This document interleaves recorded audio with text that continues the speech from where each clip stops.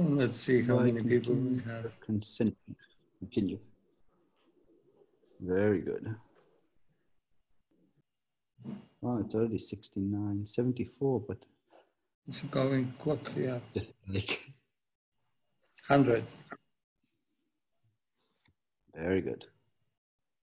So let's say when it hits 200, I start. Okay.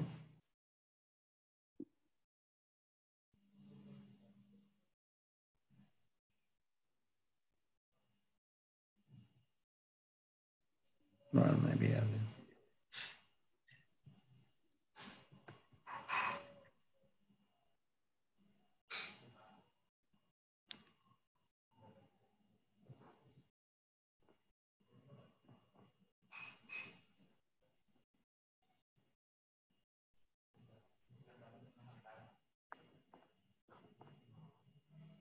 Okay, good afternoon, everybody. My name is Maciek Lewenstein. I'm from ICFO and I will be chairing these uh, sessions uh, in the third day of our Moire Magic um, workshop. Uh, today, we start with the theory speaker, Andrei Bernevig, who is actually from Princeton nowadays, not from Harvard, as the announcement was informing.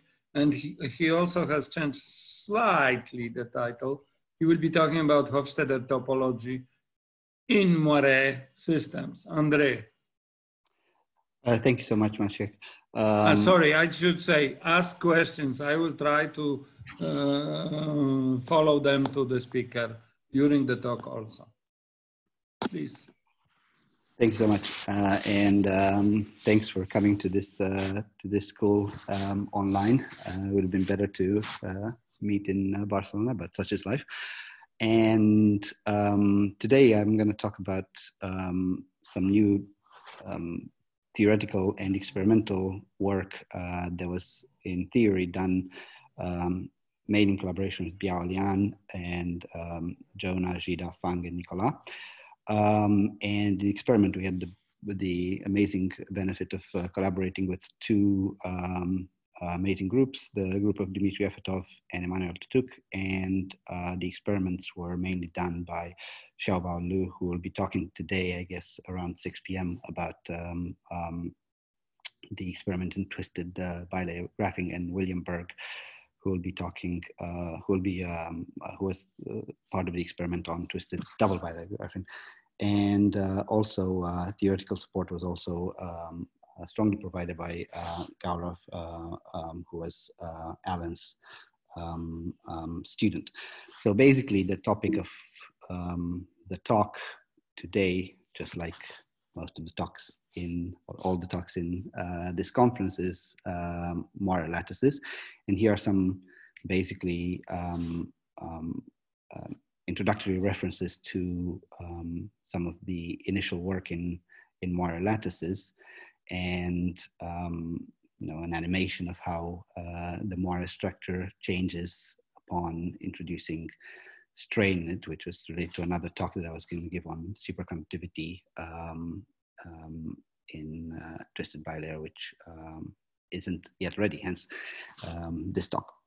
Um, another set of references that I wanted to point out, um, mostly about um, other types of topology, and uh, some of the types of topology that I'll be talking about are um, the ones on this page, uh, starting with uh, papers by uh, Senthil and Vishwanath and Kang and Vafek, which basically um, are some initial papers pointing out topology in in uh, in um, twisted bilayer graphene and all these other um, um, manuscripts uh, relating different aspects of topology in uh, twisted bilayer and other Moiré systems. So the bands that I'll be talking about, or the systems that I'll be talking about, generically have that you've been hearing for about uh, two days now. Um, these these um, flat, very very flat bands this is plotted on a large energy scale. Um, these bands, these uh, flat bands have about uh, sometimes a, a, bandwidth starting from you know, 5 to 20 electron volts. If I um, around some angles, which are now called magic angles, which you can define, for example, as the angles where a Dirac velocity at the k point of the Moiré lattice uh, vanishes. There's other definitions of these magic angles, but uh, we'll adopt the original definition. And turns out that around these angles where the Dirac velocity here at the K point vanishes, the band also turns out to be um, uh, very flat over the whole Brillouin zone, uh, which uh, re the reasons for which we'll not discuss today, but which are uh, which we understand, and um, and this gives rise to um, um, a set of two bands which are uh, very flat, uh, which exhibit some sort of a periodicity um, in real space with a very large unit cell. And, and I want to point out several things about these bands today. Um, I want to show that at every angle, irrespective of whether the angle is 1.05, 1.20, 0.5, um, at any angle, if you don't consider reconstruction effects, etc., um, then the um, bands these two, these two bands are topological. I want to point out what type of topology there is. And I want to point out that in the in magnetic field, there is a new structure that arises in these, um, in these lattices, um, which we'll call Hofstadter topology, which sometimes is uh, not available in crystalline um, um systems, in purely crystalline systems. So mostly um, what I'll be talking about today involves two systems. The first one is the twisted bilayer graphene, and this is a, um, a graph from uh, the paper of Xiaobo and, and um, um, uh, Dima.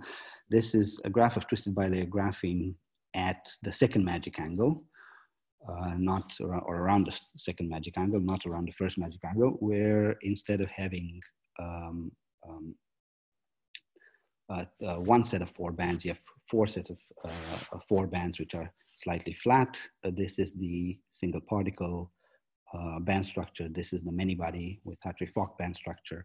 Um, and, and the reason why I'm plotting this band structure, second magic angle rather than the one at the first magic angle is because the experiment is done at the second magic angle, but also to point out that there is basically in terms of topological properties no difference between these angles as I'll show as I'll show you um, um, um, very soon. And the second uh, um, system that we're talking about is twisted double bilayer graphene, close to another um, um, flat band angle around 1.01 degrees, in which the application of a, a electric field, a potential across uh, in the z direction across this uh, uh, sample creates the opening of a gap between these bands and the um, occurrence of a Chern number um, of a Chern number two uh, band. This is a valley Chern number, normally unprotected uh, by um, any symmetry. In this case, it will be protected by an emergent symmetry, broken at the edge, which will give rise to um, uh, gap edge states. So the uh, question will be how to determine these experimentally, the fact that there's this valley Chern number and here how to determine in twisted bilayer graphene, the question will be how to determine the type of topology experimentally, the type of topology that um, um, these two bands uh, very close to the Fermi, um, uh, to the zero, to the charge neutrality point, these two bands exhibit. And the answer to this in um, hopefully I'll, I'll, get to it uh, through it to, uh, by the end of the talk is that um, magnetic field pumping can do two things in these lattices. First, it can um, reveal the type of topology that there exists at zero field in uh, most cases. And second, it can introduce new types of topology. The reason for this, um, new types of topology non-existent in in crystalline systems. The reason for this being that the magnetic field has different transformation properties than um, say a third momentum. So we can think of the magnetic field as a pumping parameter. Some people can uh, equivalent it with, um, uh, and we did, we equated with a, with the with the with a third momentum. But the symmetry properties uh, of the magnetic field under some symmetries are different than the third direction momentum, and hence you can obtain new types of um, topology in, um, the systems. And the underlying structure of this is, um, is uh, projective symmetries of, of, of space groups. Um, and the fundamental advance in you know, the application of magnetic field on these um, systems is the fact that um, you can now get to very large magnetic fields, Hofstadter type magnetic fields, um, um, with with relatively small with relatively small actual values of magnetic fields because the unit cell is so large then the flux per unit cell um, can be of order 2 pi uh, even with very um, small, not very small, but of order Tesla um, um, magnetic fields rather than order thousands of Teslas, which would be the case in a regular um, um, non-Moiré lattice. Okay, so first I want to start with um, um, uh, giving you an overview of. we have a first question already yes. from the audience. Diego Rabelo. I allow you to talk, Diego.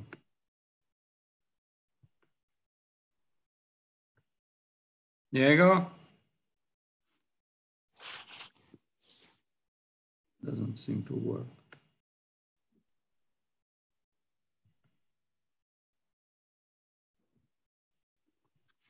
I'm sorry. I'm trying to unmute, but it doesn't seem to work. I see. You have to unmute. Uh... Yeah, yeah. I. I'm clicking on unmute, but nothing is or it doesn't give. Okay. Um, well, well, maybe he can write it. Maybe Diego can. Write maybe it. please, Diego, write this question on the chat or on the question and answer. Uh, go on. Sorry. So, but maybe in the meantime, I just go through this slide. In the meantime, while it's being written, um, I just go through the slide that basically I'm going to quickly talk about review what is known about topology in twisted bilayer graphene um, and twisted double bilayer graphene, and then present the general concept of Hofstadter topology, and then present the two experiments that I be, um, that I was talking about at the beginning. Again, mentioning that Xiaobo will talk about the experiment at 6 p.m. today, the twisted bilayer graphene experiment at 6 p.m. today. Okay, so um, um, um, Maciek, you'll you'll let me know if there's a question because I, I, I, if Diego has written the question. Okay. I don't see anything. Okay. Um, okay. Thank you.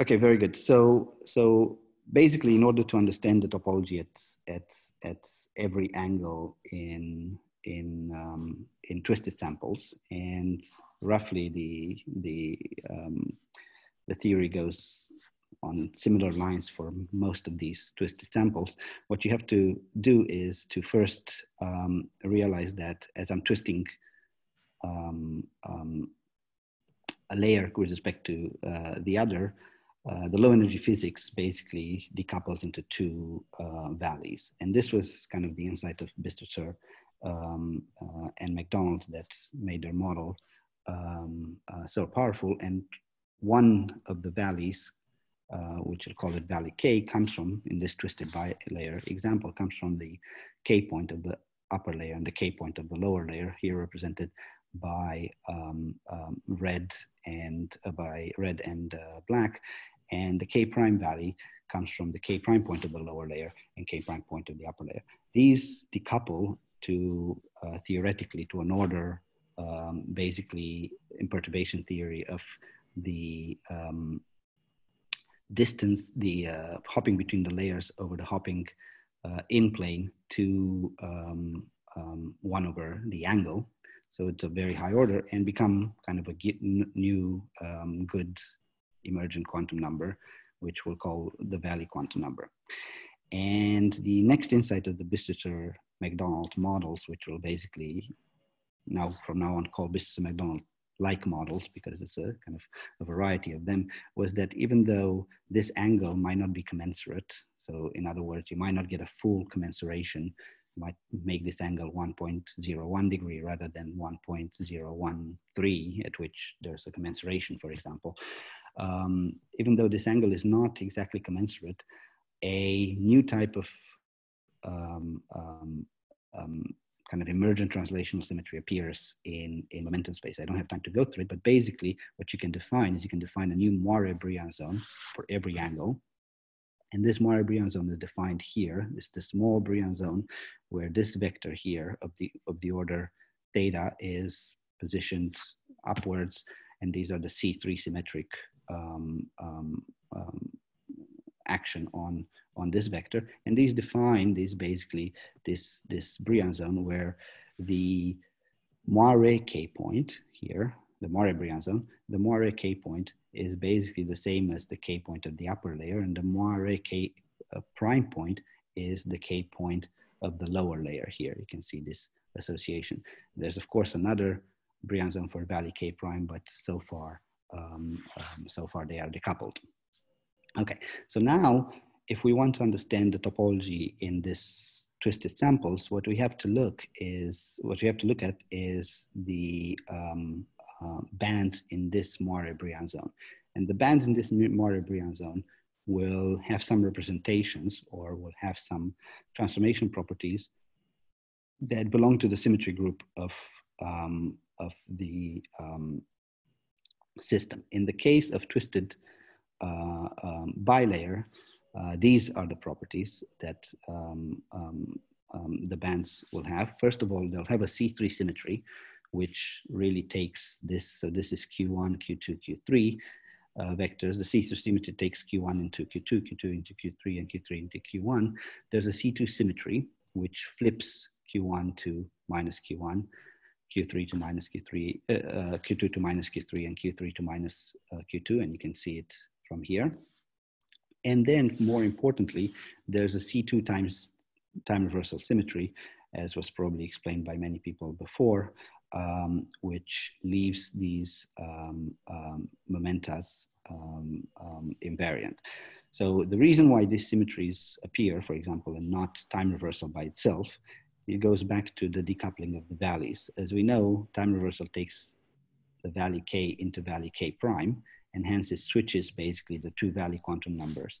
But uh, C2 takes it back to valley K. So in a valley system, in a system that's projecting a single valley, C2 and T are not good symmetries, but C2 times T is a good symmetry. Now, um, this corresponds to this symmetry group in, in, if you can see my cursor, in magnetic notation. But uh, fundamentally, and this is something that allows us to basically proof topology for all angles. Um, um, twisted bilayer and a lot of these uh, twisted double bilayer also um, has a um, unit has a particle hole symmetry, which in the case of twisted bilayer is unitary, and and which squares to one. And this is basically a remnant of the fact that you've used the Dirac dispersion to start off with. So around this K point, what we basically used as a single particle Hamiltonian without coupling is the Dirac dispersion of graphene here. So there's another Dirac dispersion of graphene. Those Dirac dispersions to the two first order are particle hole symmetric. That particle hole symmetry gets basically transported into um, what's a, a, a unitary particle hole symmetry of the twisted bilayer graphene, which um, uh, actually squares to minus one. And um, um, has the property that uh, it transforms the Hamiltonian in K into minus the Hamiltonian at minus K. And this is the representation of this particle hole symmetry. The particle hole symmetry is a, this, the, this Q lattice, this Q lattice is the lattice of red and um, uh, black points. And the red and black points have a sign attached, this zeta sign attached to them. And this sign is one on all the red points and minus one on all the black points. And this is the matrix representation of particle hole. And you can go through the calculation and find that the Bistritzer-MacDonald Hamiltonian or most of the Bistritzer type, Bistritzer-MacDonald type Hamiltonians have this type of uh, symmetry in, um, in a, with, with a small modification, have this type of symmetry, uh, particle hole, and fundamentally, as you can see here, because of this minus sign and because C2x changes, as, as you saw, C2x changes Q to minus Q, okay? So changes uh, uh, um, red to black, particle hole, this particle hole anti-commutes with C2X. And it's the fundamental thing about this, this, uh, this system, the existence of a sort of particle hole symmetry that anti-commutes to C2X. This particle hole symmetry, for example, can be used to prove things about the chiral limit, as I don't know if uh, uh, the next speakers will, will, uh, will uh, um, uh, go into. But um, what, it, what I'll be using it for here is to basically show that, um, um, that the bands around the charge neutrality point are topological.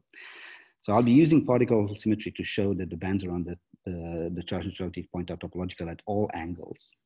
And then I'll prove that topology is not dependent on particle hole, meaning that I can relax particle hole, the topology will still be there, um, with the exception of cases when, the, when there's a complete rearrangement of the bands around the, um, around the um, uh, charge neutrality point.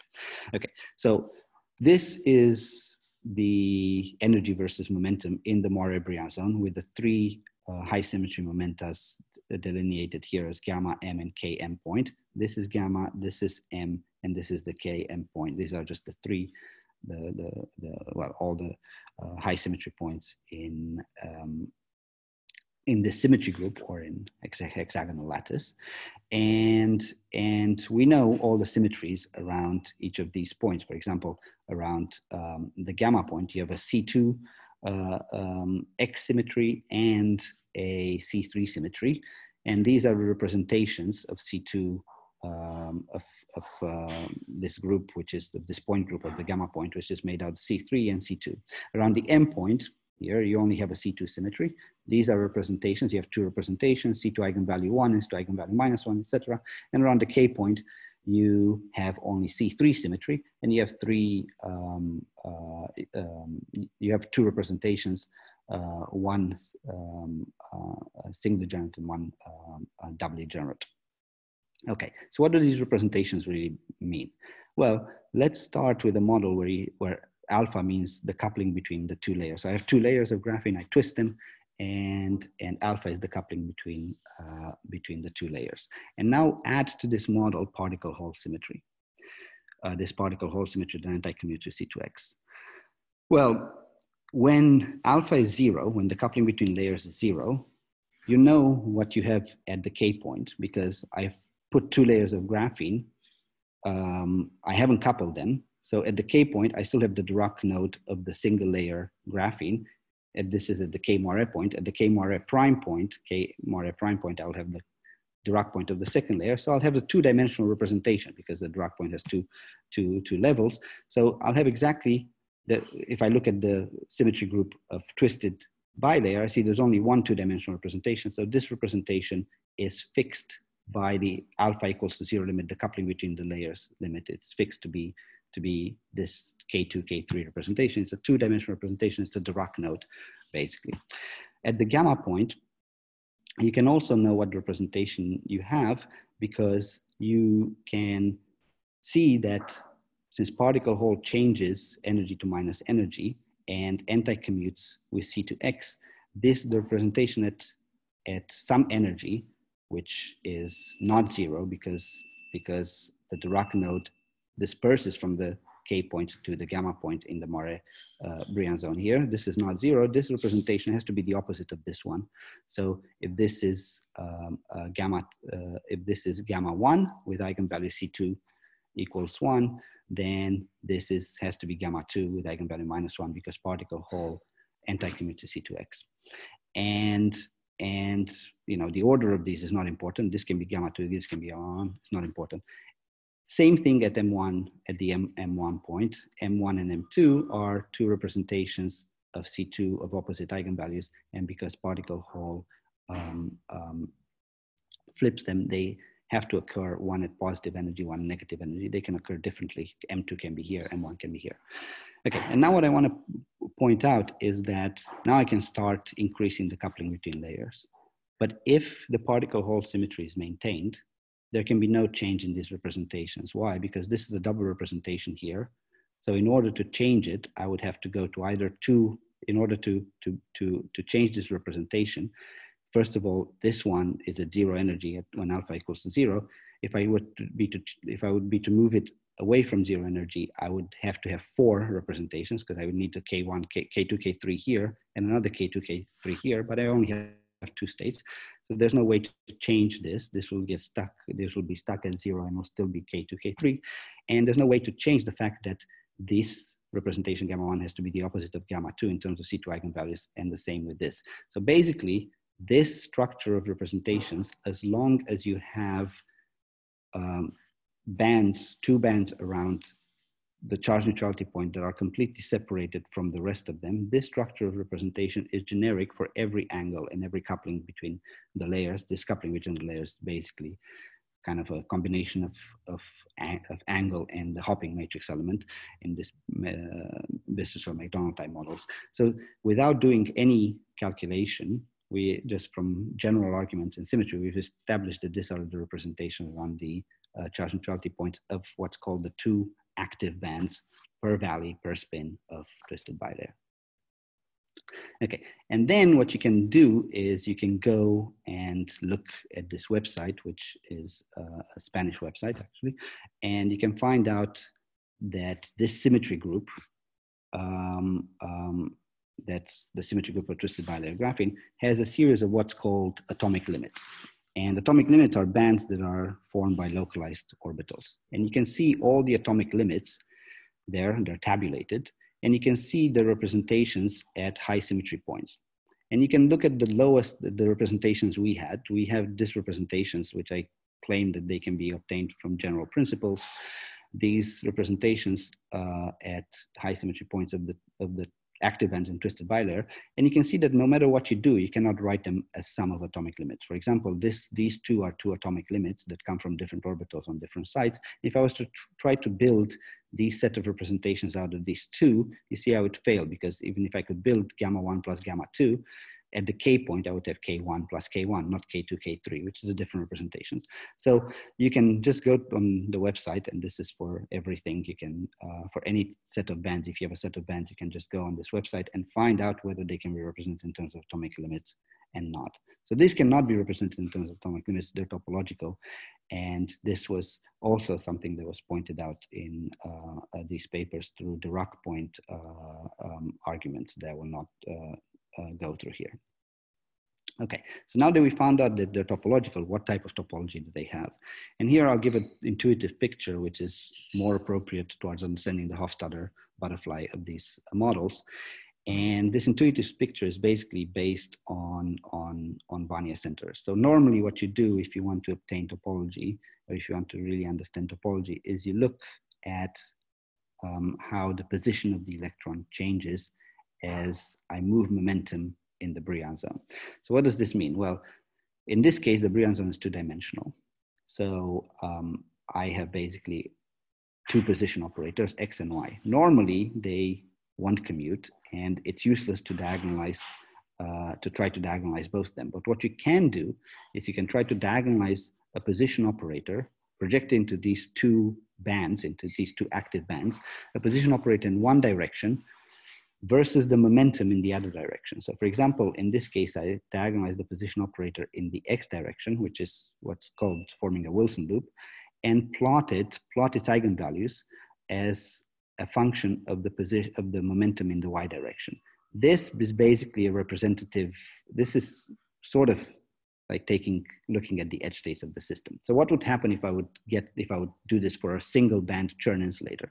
What would happen is that the position operator would do this as a function of ky. So the x position would kind of change in the unit cell between uh, one side of the unit cell and the other side of the unit cell. And this is reminiscent. This looks like the edge state of a single edge of a Chern band. So this is why position operators are very useful in determining topology. If I have a quantum spin Hall state, what I would get if I would diagonalize, you know, the quantum spin Hall state would be, would have um, at least two uh, occupied bands because of Kramers degeneracy. And what I would obtain if I was to diagonalize the position operator, I would obtain two eigenvalues, uh, giving the centers of say the spin up electron and the spin down electron if I have no spin orbit coupling. Um, and, and um, but more generally, some Z2 polarization if I have spin orbit coupling. And what these Wannier centers would do is one of them, as I move k, y, one of them would move in one direction, like spin up in up magnetic field, and the other one will move in another direction, spin down in down magnetic field. And you can see that this, if I would think of uh, this as the Fermi level, which is not, looks like the edge state of a quantum spin Hall state, like a Dirac node. So basically, the moral of the story is that the um, um, plotting of the Wannier centers uh, is beneficial towards understanding the topology of the system. So let's do this for twisted bilayer graphene. And what we did is we did this in all the phases where the two bands are gapped from the next set of bands. And these are all the phases where these are all the, this is the parameter regime as a function of the angle where all the uh, bands are gapped, um, the, the, shaded uh, portions, all the active bands, all the two active bands, the two active bands are gapped from all the other bands. And in the isotropic model um, isotropic model, meaning uh, very far away from the chiral limit. Um, so now you can see that basically for each of these um, um, shaded regions, call it A, B, C, D, and we can go to smaller angles, the Wannier centers, the way they move are actually uh, very similar to a quantum spin Hall state. So, you know, they might cross a little bit, but there, if you look at this B phase, which is kind of representative, or D phase, they look exactly like the quantum spin Hall set, uh, state. But of course, the symmetries are wrong because this is a system without spin orbit coupling. So it doesn't have per valley, it doesn't even have time reversal. Time reversal doesn't square to minus one. So the, so, so the Wannier centers look like a quantum spin Hall state, but uh, the symmetries are wrong. But however, what we can point out is that uh, it looks like two flavors of electrons, one in up magnetic field, chiral, and one in down magnetic field, pseudo-magnetic field. So let's call this pseudo-magnetic field anti-chiral. And this is something, this is a picture that was actually pointed out, this up and down pseudo flavors by, uh, in the paper of, of, uh, of Zhida. Okay, so I'm gonna basically, I don't have time to go through exactly what you know how you, how you get to these conclusions but i'm going to point out several things about this um, this uh, uh, Wannier spectrum which is a Wannier spectrum that that uh, that looks that is that looks like a, um, a quantum spin Hall with the wrong symmetries uh, and these things have also been pointed out by uh, other papers uh, cited here, such as uh, and on and on. So basically, this these, you can always ask when you see two Wannier centers crossing, you can ask why is the crossing stable? And the reason why it's stable is because of this C2 times T um, uh, symmetry. Then what you can ask is you can ask what would happen if um, you know I put boundaries on the system. And what turns out to happen in these systems, because these this crossing of the Wannier state is of the Wannier centers, of the two Wannier centers, the two active bands, is protected by C2 times time reversal, and C2 is a symmetry that doesn't leave an edge locally invariant. For example, if I make an edge, if I make two edges, C2 maps one edge into the other, then the system will not have gapless modes, even though it's topological, and and it will not have gapless modes um, but it will have what's called corner states. So this is an example of a higher order uh, topological system that will have corner states. Now, of course, experimentally, it's not very easy to determine corner states because you know their position might actually uh, um, um, be arbitrary. If I take a, a, circular sample, even if I can make it perfect, the only thing that um, uh, having such a Wannier state, a Wannier center uh, um, um, picture will tell you is that there's going to be two corner states somewhere around the circle, but they don't even have to be in any gap. They can actually be um, um, not in a bulk gap. They can be, they can coincide energetically with the active bands, the passive bands. So obtaining this type, obtaining, finding the topology of this type of a Wannier flow protected by C2Z times T symmetry is very different than finding topology of this type of Wannier flow protected by uh, time reversal symmetry, which would be quantum Hall state by spinful time reversal, which would be a quantum Hall state, a quantum spin Hall state. Um, because a quantum spin Hall state would have edge states and you could do edge transport like in the Molenkamp experiment, or, uh, but this one does not have, it has corner states, which so far um, um, in 2D samples are pretty useless spectroscopically. So the idea is how to find this type of topology, how to find, so we know the two bands are topological, how do you find the topology experimentally, uh, given that there's no edge spectroscopic uh, measurement you can do so far.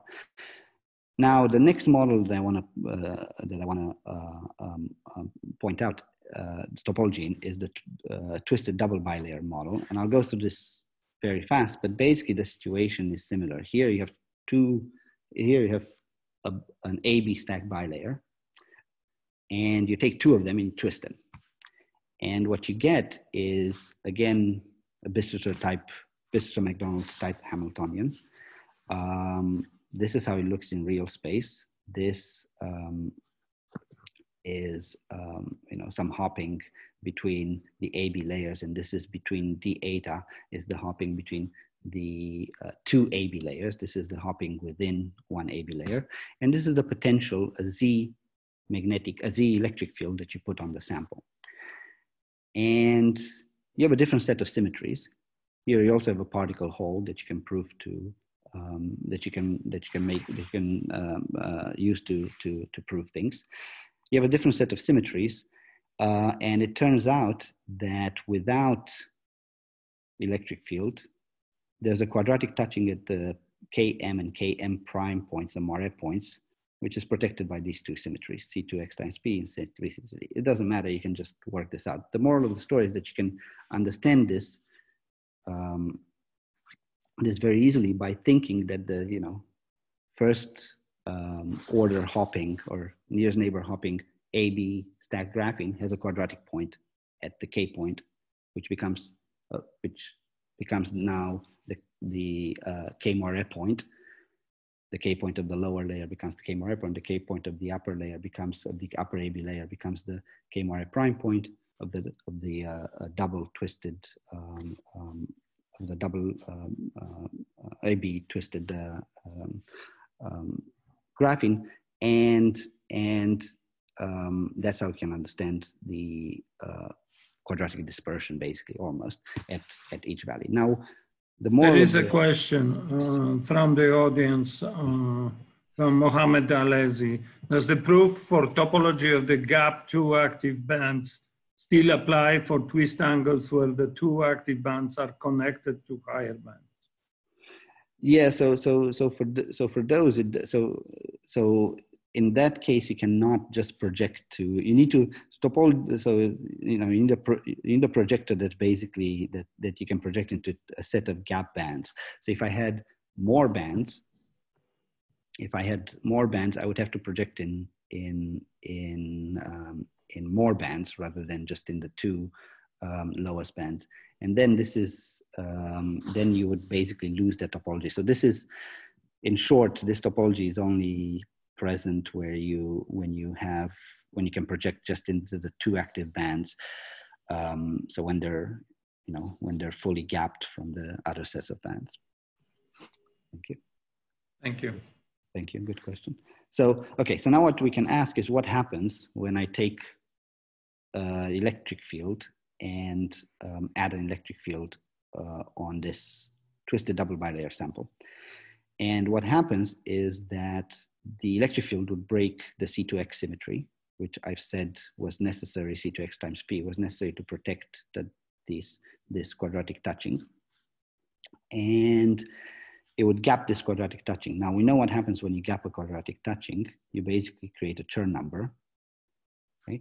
And since the K and Km prime points of one, of one valley, um, uh, twisted double bilayer uh, model, have basically the same winding since they come from um, the K, both they come from the K points of the upper and lower layer. So Km point is the K point of the lower layer, Km prime point is the Km point of the upper layer, AB stacked um, um, uh, graphene, they both have the same winding. So you get an opening, a gap with a Chern number of two per valley. And this is what happens. You can clearly see it here. This is are some plots where you get a Chern number two per valley. And basically gapping the quadratic nodes will give you Chern number plus minus two per valley um, um, because the original uh, crossings were quadratic. But again, this is a valley Chern number, okay? So, so if you ask how to uncover to the topology here, just without, just from, just directly, without, um, you know, going through experiments, uh, through other many body experiments, just from single particle, how to uncover topology. Know, some, there's an argument to be made that for, for the for the uh, people that know twisted bilayer that uh, Andrea Young's experiment of Chern number one in the many body state uh, basically proved that there's topology in the single particle uh, spectrum. But I'm talking about uncovering topology directly uh, without, without using just from the single particle spectrum. And I claim that this is hard for several reasons. As I said in twisted bilayer, um, there's no edge states, there's only corner states. They can be moved within the bandwidth. Spectroscopically, it's not easy to find them. In twisted double bilayer, the topology per valley has a Chern number. Um, hence, per valley, there exist two edge states. But valley is this quantum number in the bulk. That's it's an emergent low energy symmetry in the bulk, which basically means that one valley of of uh, the AB of the uh, Moire um, um, Hamiltonian does not couple to the other, to the Moire Hamiltonian that comes from the other valley. But if I have, but it's not really a good edge symmetry. So if I have two propagating edge states from one valley on the edge and two counter propagating edges from the other valley on the edge, um, there's not much that can prevent me from coupling them and opening a gap. So, um, so it's not clear how to do, again, at least for me, um, uh, spectroscopic measurements to find um, um, the fact that twisted double bilayer has a valley Chern number. So that's what basically um, started a project to think about a way to identify these topological states from the bulk directly, um, rather than going through their, you know, edge bulk correspondence, which in this case it's a bit, uh, it's it's it's uh, it's a bit tricky. So that brought us to this thing called Hofstadter topology. And, and um, really this is based on the fact that the lattice constant in, in these uh, Moire systems is so large that it can allow um, the insertion of you know, units of magnetic flux uh, per, uh, per unit cell. And, and I wanted to give you a very quick example of what happens when you when you um, have um, when you add magnetic flux per unit to first a trivial state and then to a topological state. And I wanted to show you that adding a magnetic field to the system basically uncovers, uncovers the zero field topology of of your state. So, so first I'm taking just appealing to, uh, to everyone's Hofstadter um, knowledge to show you what happens to a single band that's single, so it cannot be topological, it's single in the full spectrum of the system, a single band, non-topological band when I add uh, um, Hofstadter magnetic fields, so large magnetic fields. Well, I'll have a, a um, Landau fan coming from um, the top of the band, a Landau fan coming from the bottom of the band.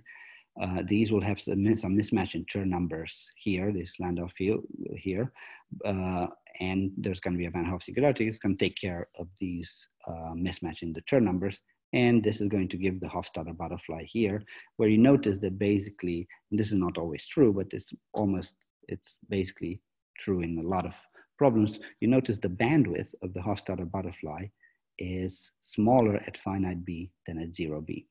Okay, and this is basically the reason why this is smaller finite b than zero b is basically the fact that the Landau fans move inside. So these are Landau levels as I apply large magnetic, as I apply some magnetic field, you know, uh, larger and larger, they move, they move inside.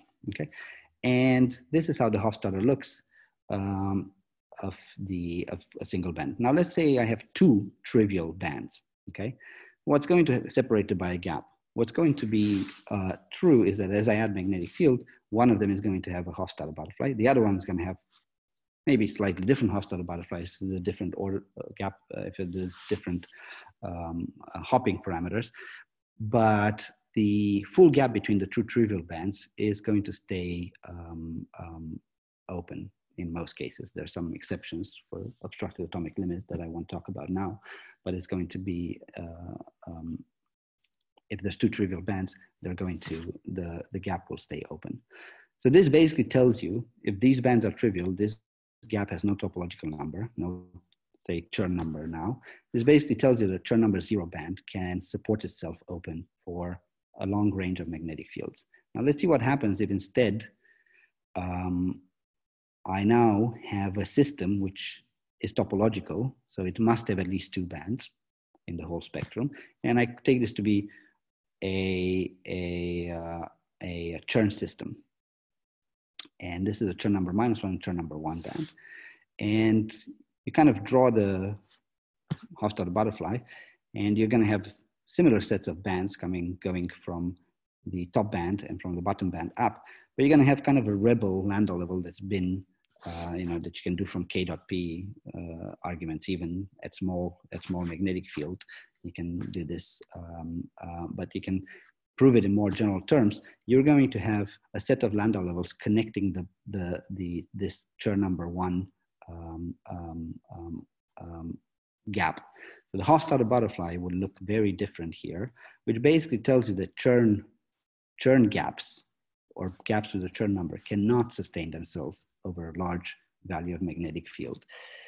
And you can see the Hofstadter butterfly here. Here, for example, this part comes from the Hofstadter butterfly within this band. This part comes from the Hofstadter butterfly within this band. But there's now a, a, um, a um, um, closing of the of the uh, gap of the single particle gap was a closing of the single particle gap um, um, in in in Hofstadter magnetic field. So this is flux zero two pi um, uh, by the magnetic field, and this basically tells you that this Chern one gap cannot sustain itself over for a field going from zero to two pi here, um, um, for example. Okay, so let's understand why this band cannot sustain itself. There's many ways of understanding this. It's actually quite simple, uh, but um, um, one way of understanding it um, uh, that was actually quite uh, quite nice and uh, pointed out by Biao is the following. If I have a 2, 2D system of Chern number C between a conduction band of a Chern, of, of Chern number minus C and valence band of Chern number C, that is forced to close at magnetic flux phi over phi zero is one over C. Okay, so this is a fundamental, that's very important theorem that we'll use for the twisted double bilayer. Okay, and this is imposed by the Streda formula. It's basically the fact that you can prove it through many other, uh, through many other ways actually, but this is the most physical way because the Streda formula tells you that the number of states in a Chern, in a, in a gap of Chern number C has to vary with the flux. So it has to vary as, you know, one over area one plus um, uh, this density plus uh, the Chern number times um, the flux. So this is just the imposition of a Streda formula. So if I had a Chern number one here, okay, and I had just had two bands, then by the time I reach flux one, I've depleted this whole band because this NC has become two here, okay, at Chern number one at flux one. Okay, one plus one is two. So I've depleted this band. So this gap cannot sustain itself and is closing. If I have Chern, if I start with a Chern number two here, then this, then the gap, the single particle gap at flux zero has to close by the time I reach a flux of uh, one over two units of flux, phi over phi zero is one over C. So it's kind of a very strong um, um, um, principle that you can basically test the to topology in zero field. Um, uh, you can test when the gap is closing, and then you can see um, you can see if you had, for example, a Chern number. And I want to point out this is opposite from what we know in regular Landau levels, where increasing B basically results in larger Landau gaps in gallium arsenide, I'd say. This is you increase B and your gap shrinks. So basically means that a zero field topological state or Chern state certainly has a bulk imprint in magnetic field. And I want to point out that many such states, many um, um, zero field states have an imprint in, in the Hofstadter spectrum in the magnetic field. And that also you can get to new types of symmetries and new types of states that um, as a function of magnetic field that don't exist in crystalline systems. So what's fundamental about Hofstadter fields? Well, what's fundamental about Hofstadter fields is that with chiral substitution, so this is all within a chiral formalism, with some chiral substitution, the Hamiltonian at phi plus an integer number of fluxes. Another question. Uh, this is from Dimitri uh, Chichinadze. Uh, Dimitri, do you want to ask it uh, directly? Try. We shall we try? Let me try to unmute you. Allow to talk. Can you talk? Uh, can you hear me? Yes. Okay, Please perfect. ask the question. Thank you. Um, so uh, my question is this: So in your, I think in your uh, 2019 March meeting talk, you mentioned that this particle hole symmetry, which re- is somewhat required to get the picture for um, closing the gap between two Hofstadter butterflies, requires well the approximate particle-hole symmetry. So you don't have to have an explicit symmetry, but at least some approximate form of it. Could you elaborate on how you define these approximate symmetry in a quantitative way? So, so I'm not. Uh, yeah, so I don't remember exactly what I said. I hope I didn't say anything uh, wrong. So certainly, certainly for the Chern number, uh, for this Chern number, there's no need here. I, you're right. There's the, these models are particle-hole symmetric, but there's no there's there's so if I said this, then I was I, I then I misspoke. Um, um, there's certainly no need for it to be particle-hole symmetric. I can actually I can the Chern number a zero field Chern gap can never can never um, um, can never sustain itself basically with with or without particle-hole symmetry. So I can change. So for example, this guy this this guy will not is not particle-hole symmetric really i think uh, and it can't sustain itself a Chern number uh, field. Now there are some there are some uh, um, models where you, you might need particle-hole symmetry but it's not generic. So i don't so so basically it's not needed for what i'm saying here. So that's that's the question. So if i said that i you know it was misspeaking. Thank okay. You. thank you Thank you. There is another question from Mohammed Amitri. Mohammed, do you want to speak? You, you can speak now, I guess, or not. Can you speak now? No, it doesn't work in his case. Why? I don't know. Okay, I read the question. Now? Doesn't it? Okay, I read the question. What changes if the magnitude of Chern numbers for conduction and valence bands are not equal in magnitude, say minus one and two, would the gap still close in similar way?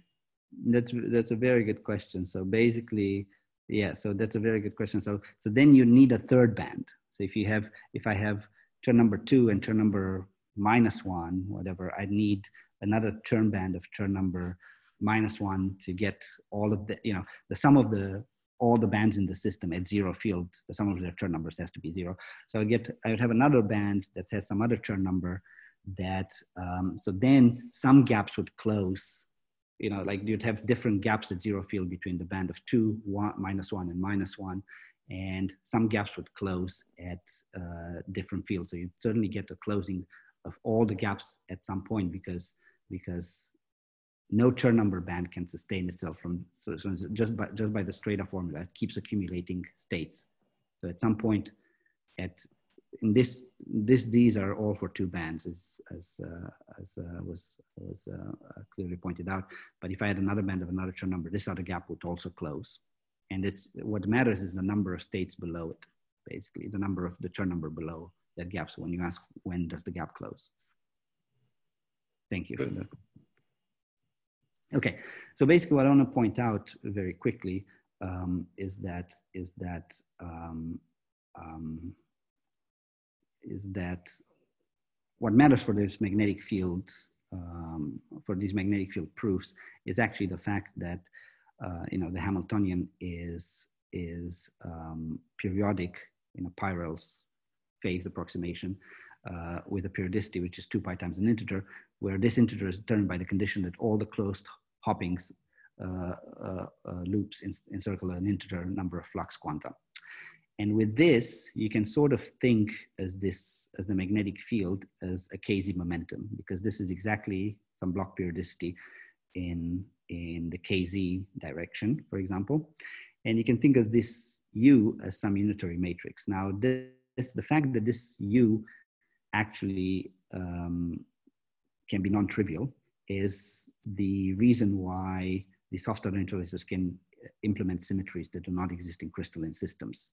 So from now on, we can think of the B as the KZ momentum, the magnetic field through the symmetry, and the two-dimensional kx, ky sample is the two-dimensional kx, ky sample, and we think of kx, ky, and b as the three, as three momentas.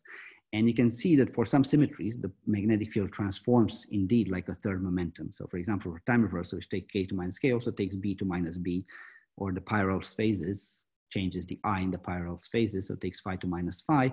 And this acts like the KZ momentum. Particle hole turns the same way. C2z, C2x also act on the magnetic field like they would act on the KZ momentum. But there are situations where um, um, where they don't, and I'll point them out uh, very soon. So, okay, so now let me give you some examples of what topological states will do as I pump the electric field. So, um, for example, if I now have at, at, at zero magnetic field a quantum spin Hall state rather than a quantum uh, Hall state, then a quantum spin Hall state with only time reversal can lead to two, pop, two, two situations. If this flux has n odd as a function of the magnetic field, it's a 3D strong TI. So if I was to consider Kx, Ky, and magnetic field as Kx, Ky, Kz, if this Peierls phases, this factor n is odd, then the Hamiltonian in magnetic field, as I change the magnetic field from zero to, to, to flux from zero to pi, would be a strong TI. It would be a weak or a strong TI if, if this n is even, but if n is odd, it's a strong TI. A magnetic field zero fragile spinless state with time reversal and C2 symmetry leads to a gap closing. So this is the situation that we'll be talking about actually for twisted bilayer, this gap closing that happens in a fragile state. Um, in some situations.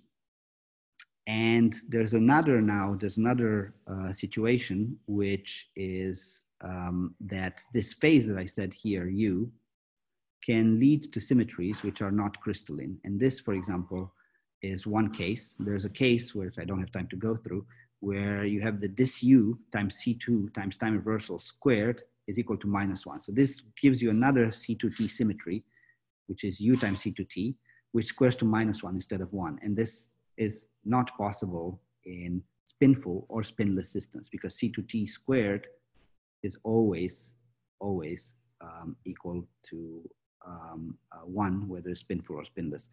So this is basically a projective symmetry that that comes into this uh, into this uh, into this game. Okay, so I don't have time to go through it, but I want to point out is that there's more symmetries for which the magnetic field doesn't act like a KZ like a KZ, um, um, um, uh, like a KZ momentum. For example, inversion. For inversion, inversion doesn't change the magnetic field, and you get this type of um, symmetry in the magnetic field Hamiltonian. Um, uh, MZ, MZ also doesn't change the magnetic field, and you get this type of symmetry.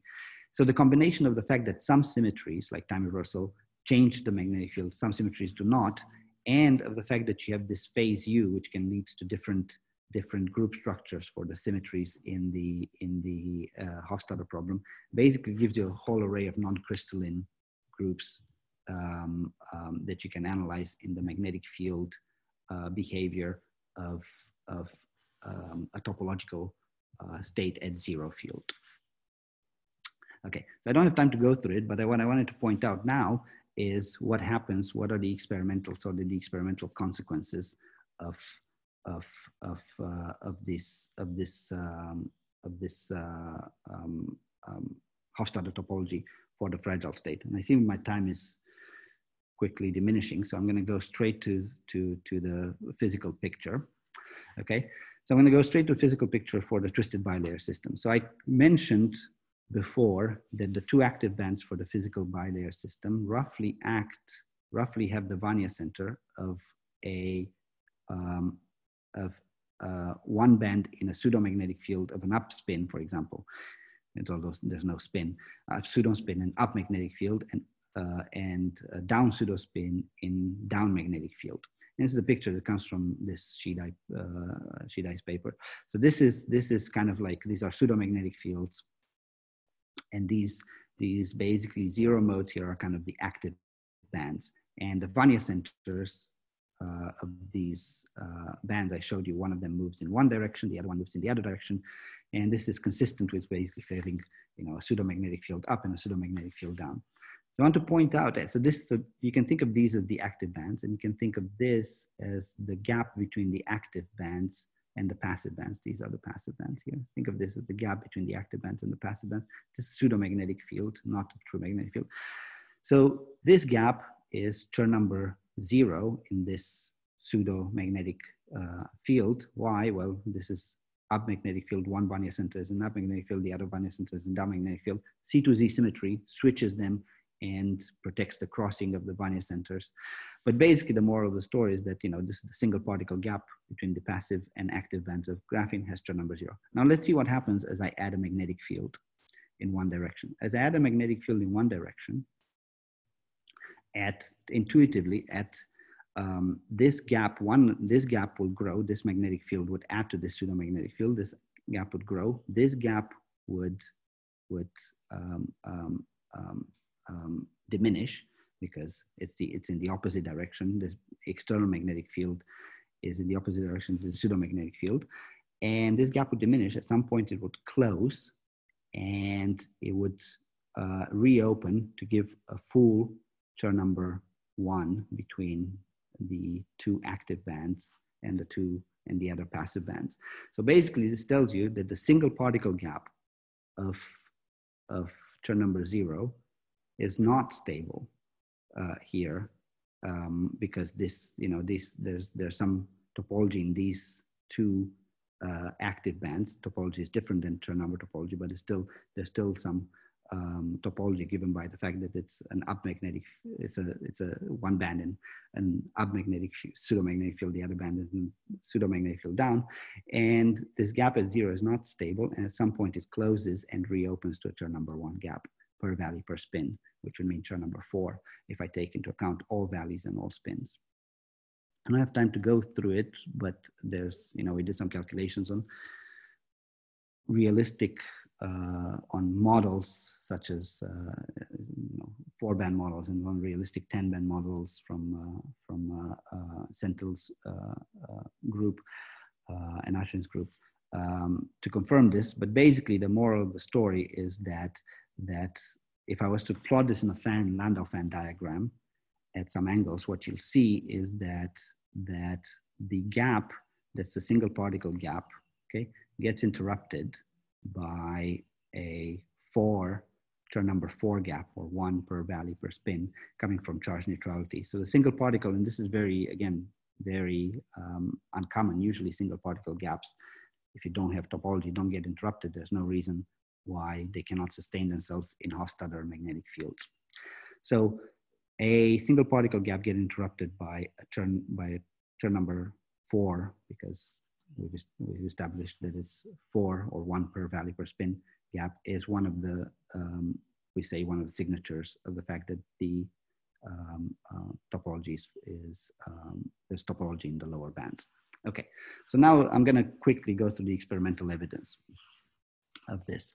So again, uh, this will be talked by, uh, this will be uh, presented by Csaba uh, at uh, 6 p.m. But the moral of the story is that, that instead of going to the first magic angle, you go to the second magic angle where unit flux is achieved at 4.5 Tesla rather than at, um, at 30 Tesla. And in this case, you have eight sets of four bands connected in a single particle model. If you add Hartree-Fock consistently, um, you get um, disconnected bands in sets of two times four times valley times spin. This Hartree-Fock you find out if you add it so consistently breaks C, C, symmetry, but not C2, C2T. uh, well, the Hartree Fock that we added broke C3X symmetry uh, self-consistently. Um, Dirac points exist. They kind of move away from high symmetry points because of C3Z, but this fragile topology is still maintained by the arguments that we had um, uh, before. And I don't have time to go through it, but Csaba will. But this is the, the um, uh, plot of the Landau level. So you can clearly see a 4 comma 0 Landau level crossing the single particle um, um, gap, well, many single particle gaps. And this, the prediction is they'll cross many single particle gaps. But you can clearly see the 4 comma 0 crossing this, for example, 0, 0, 2 single particle gaps. So this is 4 comma 0 it goes all the way to zero here. Notice the magnetic field has gone to zero here. So it crosses the single particle gaps, interrupts the single particle gap, just like the uh, uh, predicted um, behavior for a, a, zero field topological state in magnetic field. And there's several other Landau levels that have these type of crossings that can be matched to the um, uh, twisted bilayer um, uh, band structure at, um, at, um, at this angle in magnetic field. The next thing that I want to point out is experimental evidence for having a Chern number at twisted double bilayer. So as I said, this is a valley Chern number. So edge experiments are, uh, you have Chern number plus two from one valley, Chern number minus two from the other valley. Counterpropagating edge states can't do. Um, they, there's no reason why they would um, uh, not gap. But what you can do is you can apply magnetic field, you can apply um, you know, different potentials, different electric fields to make this gap larger or smaller, the number two gap larger or smaller. And for each of them, the prediction is that an electric field, that a magnetic field would close this gap because the valley Chern number gap, it's Chern number gap, would close this gap at flux one half of the unit cell. And these are the plots. See, for every, for every magnetic field, for every electric field, these are different electric fields. There is a clear sign of gap closing around the same 0.5. It doesn't matter. There's there's there's several there's other samples also. It doesn't matter the value of the uh, electric field, which basically governs the different values of the gap uh, at zero uh, uh magnetic field. The gap closes as I as as uh, well as uh, will um, the Tutuc group um, um, changes the magnetic field to exactly to, to zero, 0 0.5. Um, and I think I basically took more of the time that was allotted to me. So I thank you for your attention.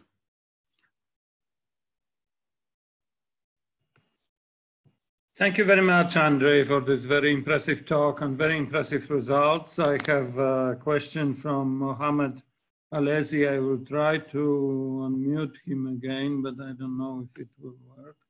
Muhammad, can you speak? Oh, and and by the way, I wanted to point out also that uh, that uh, I got encouragement to look at the uh, the Hofstadter problem also by from Pablo. I didn't want to to miss uh, to miss that. So thank you.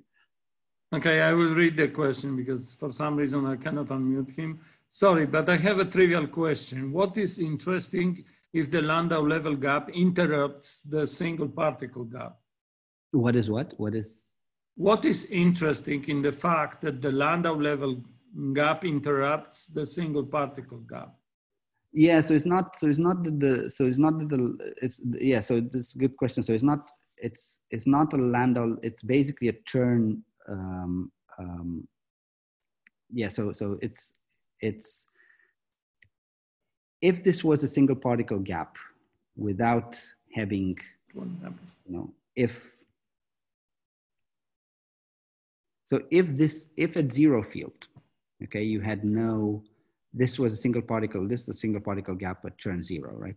If at zero field here in this picture, you didn't have this, you didn't have this, the topology where intuitively, we can go through more exact uh, statements, but intuitively, the topology of the two active bands is that, so what you, what, what you can do is you can go on the AA sides, you can take the Bistritzer-MacDonald Hamiltonian and you can, you can make an approximation, um, a linear approximation and find that is the Hamiltonian of a pseudo magnetic field, which um, after a basis transformation anyways, uh, of a pseudo magnetic field where the two uh, uh, bands, the two active bands um, basically feel opposite pseudomagnetic fields. And C2 times time reversal basically relates one to the other. And that's why topology is actually um, um, uh, protected.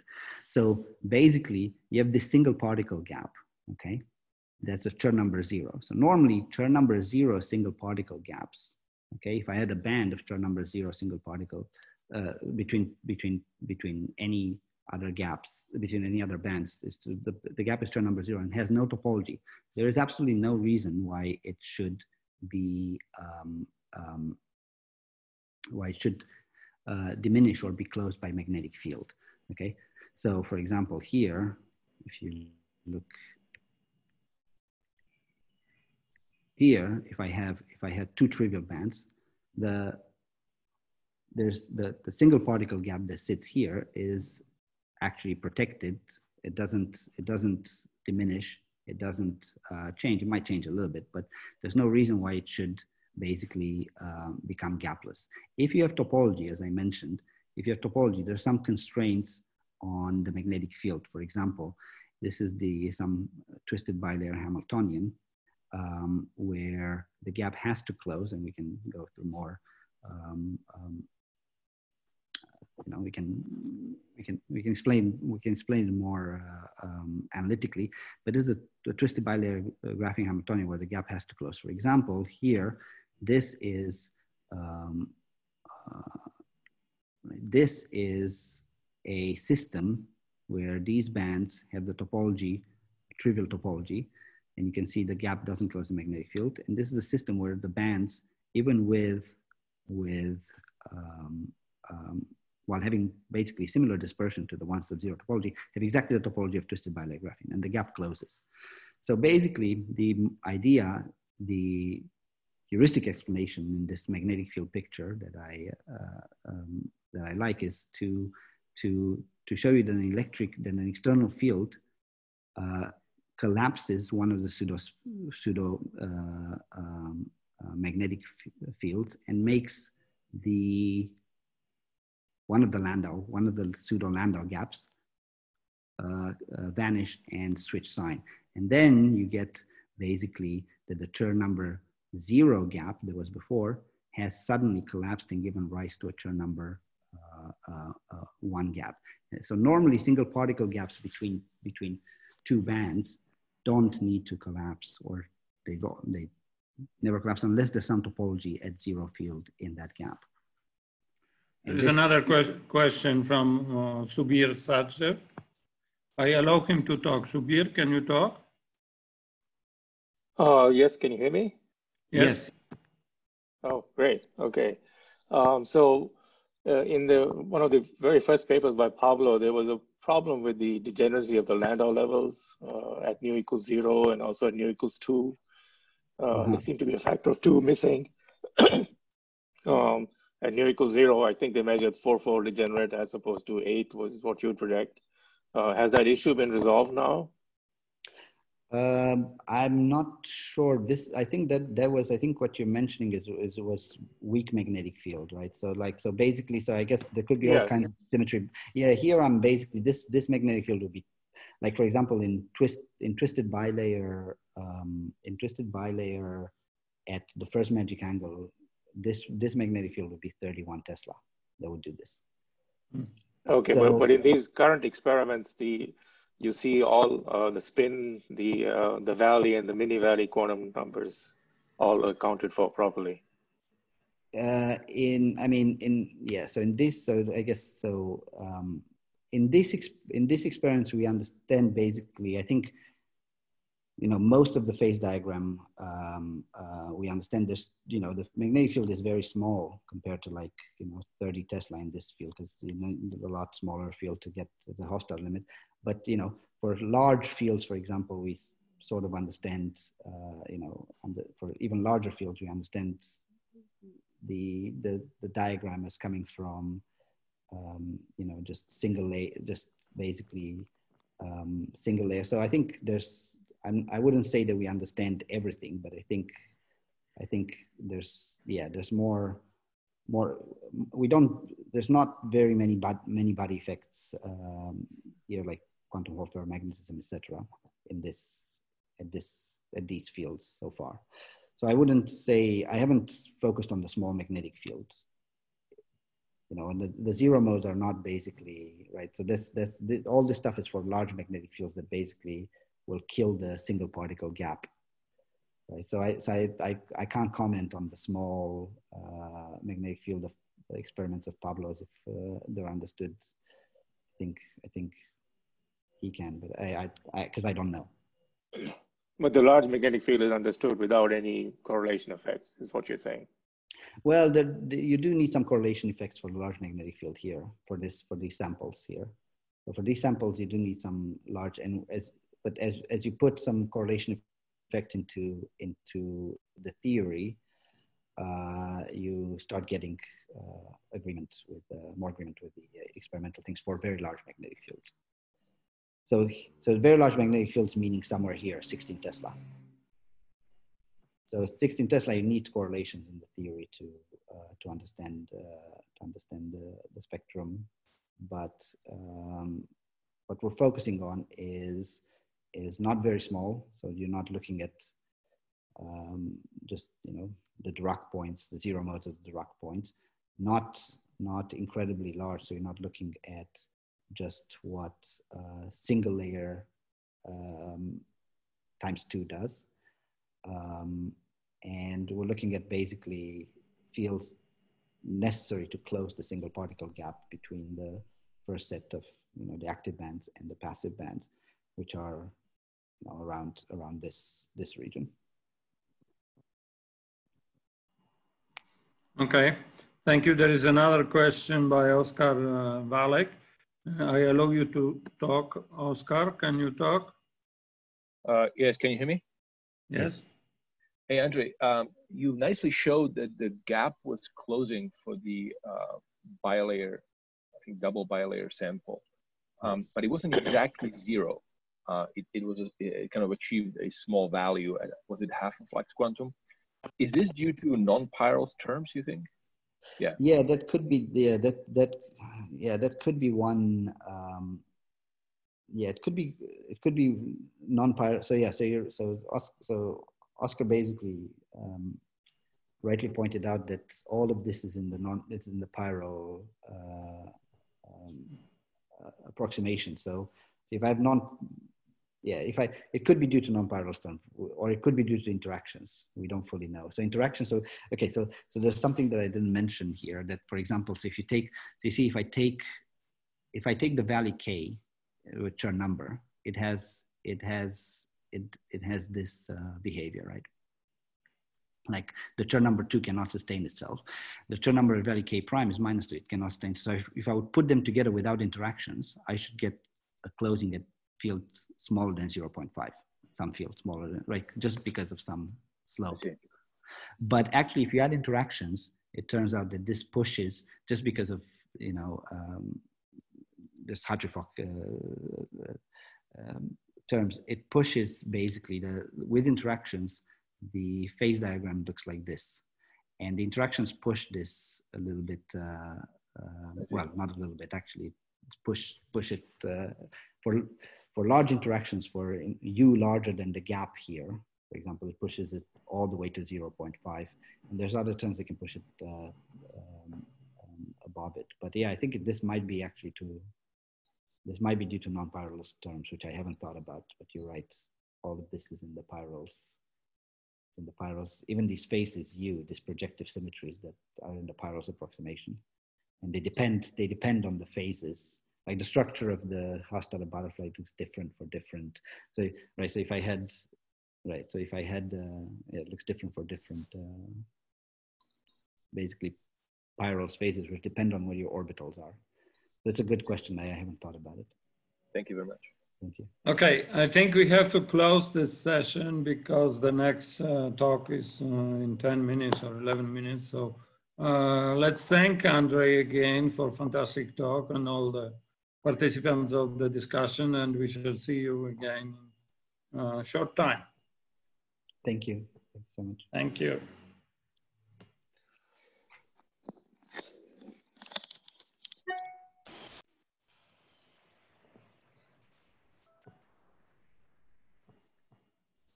Thank you. I finished the, the session. Yeah, you can finish Okay, thank you very much.